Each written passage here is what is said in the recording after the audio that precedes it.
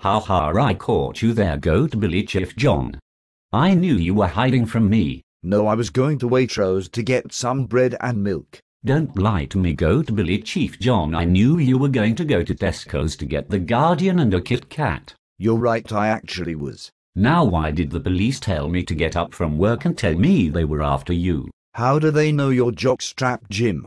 Because I don't give a damn about my secret identity. I tell everyone at work I'm Jockstrap Jim. And what is your real name? Jimmy Jockstrap son. My real name is John Bliss. Let's get on with the main subject.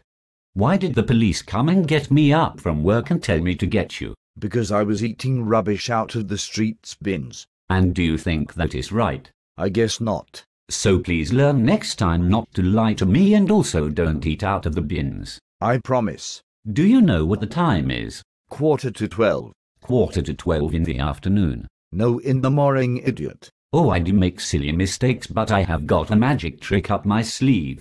Go on then, let's see it. Okay, That hurt, but I have got a trick up my sleeve as well. let's see your one then. Wow, that's a good one you did there. I have been practicing. Good for you.